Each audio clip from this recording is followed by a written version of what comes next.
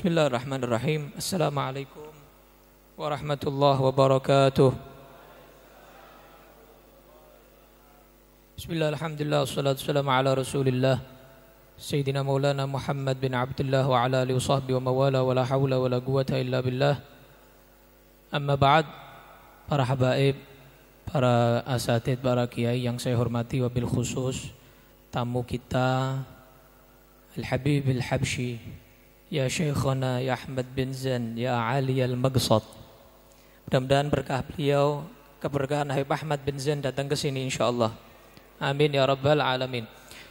Malam hari ini kita akan membahas tentang sholat berjamaah. Kalau kemarin tentang kemarin tentang soft, bagaimana mengatur soft. Kalau saat ini bagaimana makmum itu masbuk atau tidak. Mungkin perlu dua pertemuan karena perlu cukup waktu yang lama dan praktek. Malam hari ini siapa yang mau berdiri? Eh, nggih, kok. Sik lungguh sik wae, engko minta ngokon. Pertama-tama jamaah ya. Seorang makmum dianggap berjamaah itu ketika mengikuti imam sebelum imam salam. Jadi walaupun saat tasyahud akhir ada seorang datang pengen jadi makmum, ndak usah mbok kaplok langsung ikut. Ndak usah pakai nggak ngaplok, langsung duduk, langsung ikut. Pertama takbir, Allahu Akbar, nggak pakai rukuk, nggak pakai iktidal, langsung duduk mengikuti imam. Ya, berat misalnya ingat apa apa maju. Berat, ente maju, ente tasyahud, ente tasyahud akhir, tahiyat akhir, ndak ente tahiyat akhir. Nah, pilih gue. Nah begitu. Saya datang, anak datang, saya langsung ikut langsung di sebelah kanannya, langsung saya ikut takbir langsung. Allahu Akbar, makmuman ya. Allahu Akbar, langsung tidak pakai rukuk, tidak pakai fatihah, langsung tasyahud. Tapi duduknya tidak seperti imam. Kenapa? Imam dia di rokaat yang terakhir. Kalau saya ini bukan rokaat terakhir, jadi saya duduknya iftirosh. Kalau imam duduknya tawar, tawarruk. Tawarruk itu duduk tahiyat akhir. Iftirosh, iftirosh itu duduk tasyahud pertama pertama, tahiyat pertama. Jadi begitu. Selama imam belum salam. Kalau imam sudah salam, maka enggak sah. Nah, itu ada perbedaan pendapat Imam Romli dan Imam Ibnu Hajar. Imam Romli bilang mulai dari as, as-salam. Kalau imam sudah as saya Allahu Akbar, tidak sah saya jadi makmum. Karena sudah asa, sudah as. Ya, bukan kartu as ya. Menurut Imam Ibnu Hajar, mim dari alaikum. Dia baru assalamu. Saya Allah itu menurut Imam Ibnu Hajar masih bisa jadi makmum. Karena belum mingkem alaikum. Alaikum belum.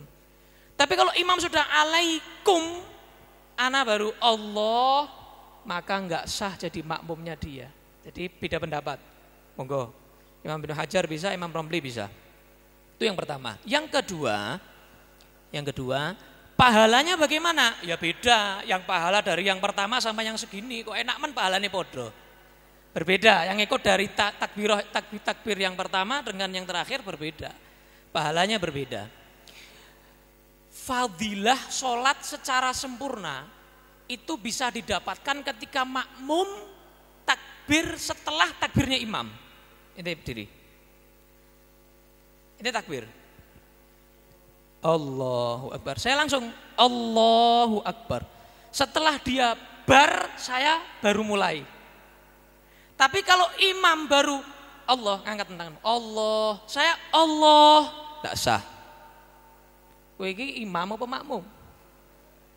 Tidak bisa. Tidak sah, ya. Jadi setelah imam bar baru saya mulai Allah begitu. Jadi langsung kalau mau pahalanya banyak langsung karena kata Nabi innalikulli syai'in safwah wa safwatus salah at-takbiratul ula. Setiap segala sesuatu ada intinya. Intinya sholat ada di takbir yang pertama. Jadi intinya jantungnya sholat itu makmum takbirnya setelah takbirnya i, imam. Itu yang paling afdal, yang paling uta, utama. Kemudian mengikutinya bagaimana caranya? Inti ruku, inti ruku. Allah Allah. Nah, sebelum dia turun, nanti berdiri lagi, berdiri lagi. Nah, sebelum dia turun untuk ruku, makmumnya dia ruku, ini baru ruku. Nah, berarti kan makmum dulu. Itu hukumnya haram. Haram hukumnya. Kenapa? Mendahului imam. Bahkan dikatakan Imam Ibnu Hajar minal kabair termasuk dosa besar. Padahal akeh sing nglakoni. Ana ora niku? Ana ora? Akeh ora? Padahal kata Nabi, "Ama yakhsha ad ahadukum ayyuhawwilallahu wajahu wajah himar?" Apa enggak takut kalian kata Nabi, Allah merubah wajah kalian di hari kiamat nanti seperti wajah keledai. Ngerti keledai, Pak? Pernah ngerti kok searching Google? Apa mau kalian nggak takut wajahnya berubah jadi keledai? Bagaimana? Yang mana orang mendahului imam itu bakalnya hari kiamat wajah keledai. Jadi engko nek wajahe ana sing wajah keledai ketahuan. Oh, kebiasaan. Biasaan mendahului imam. Jadi haram hukumnya, dosa besar, nggak boleh. Bagaimana caranya? Minimal begini, dia mulai ente ruku, mulai ruku. Nah, anak mulai ruku juga. Nah, selesainya bareng. Itu minimal. Kalau bareng, bareng. Allah, Allah bareng. Nah, itu makruh. Kenapa? Bareng-reng ya. Nanti meh balapan bareng-bareng makruh. Tapi kalau tadi minimal yang sah begitu. Jadi bukan yang sah, yang enggak enggak dosa, yang enggak makruh. Eh Allah, anak juga ikut. Ah, bar. Tapi yang paling sempurna dia selesai dulu. Dia selesai dulu. Allah. Nah, itu yang paling sempurna. Walaupun rukun kauli. Rukun kauli itu apa? Rukun berupa bacaan. Dimakruhkan, kalau rukun kauli nggak haram. Makruh mendahului imam. Contoh. Imam masih doa iftitah. Baru takbir ini. Allah Akbar. Saya juga baru eh, takbir. Takbir dong. Allahu Akbar. Dia baca doa iftitah kan. Kabira alhamdulillah katsira. Saya kok langsung loncat. Langsung loncat baca fa, Fatihah. Makruh. Kenapa? Karena afdolnya nunggu imam. Ente kan makmum. Nunggu imam dulu. Imam selesai doa iftitah, terus selesai Fatihah, ente baru Fatihah. Jadi afdolnya begitu. Kalau enggak begitu mendahului imam, hukumnya mak makruh. Taib. Sekarang begini, kalau seandainya imam ruko, ini ruko, oh. Ana baru datang. Ana baru datang. Ana baru datang. Maka sunnah bagi imam untuk menunggu makmum yang datang.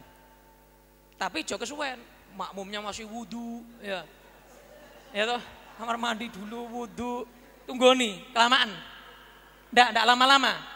Dan nggak pilih-pilih. Wah ini Pak Yai ini. Ini suara sandalnya Pak Yai. Enggak. Mau Pak Yai, Pak Gus, Pak murid, semuanya sama. Semuanya sah? sama. Mau Habib, mau Ustadz, mau Sayyid sama. Dalam urusan menunggu makmum sama. Presiden yuk makmum. Menteri ya mak, makmum. Semua makmum, tidak ada presiden harus imam, tidak ada. Makmum ya mak, makmum ikut imam.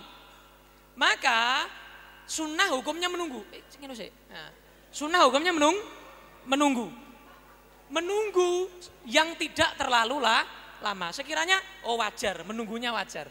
Karena Nabi Muhammad SAW diriwayatkan beliau itu kalau dengar suara sandal masuk ke dalam masjid ditunggu sama Nabi. Sampai dia takbir, rukuk, baru Nabi iktidal. Kenapa? Karena begini. Karena begini. Kalau seandainya saya datang, Anak datang ya, dia ruku, imam ruku, anak datang. Anak takbir, Allahu Akbar. Baru ruku, maka rokaat ini tidak dihitung. Setelah nanti salam, saya harus nambah satu rokaat. Kenapa? Saya tidak tumak ninah bersama imam dalam ruku. Namanya makmum masbuk. Apa? Masbuk.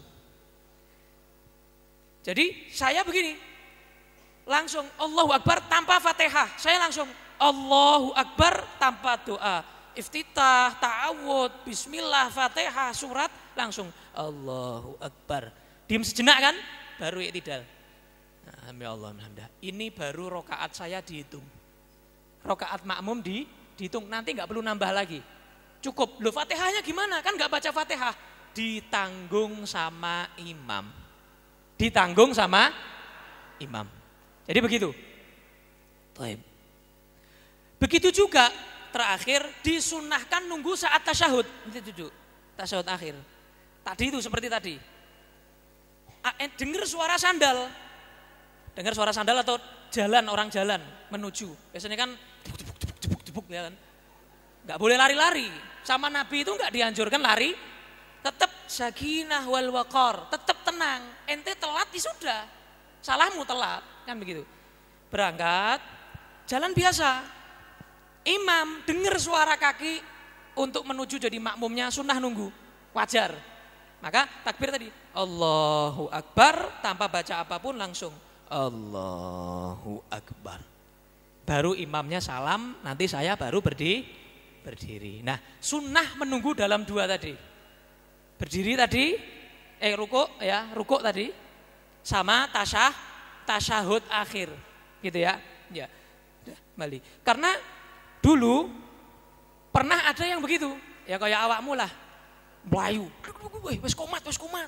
Ya, lari-lari. Atau wes rokaat kedua, lari-lari. Nah, setelah salam, Nabi Muhammad itu dengar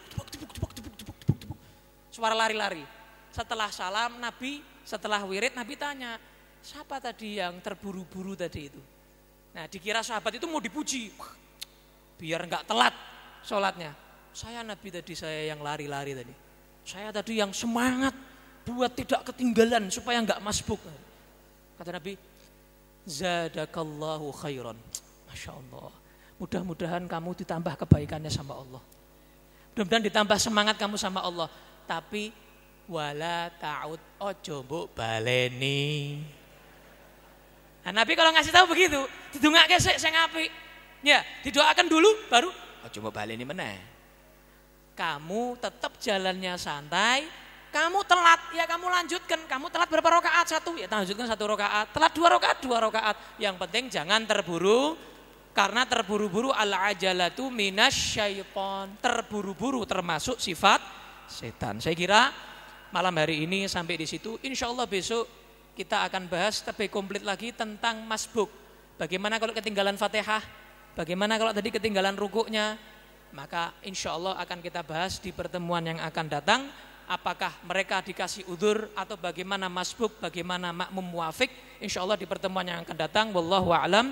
Bisawab. Sallallahu ala sayyidina Muhammadin wa ala alihi alamin.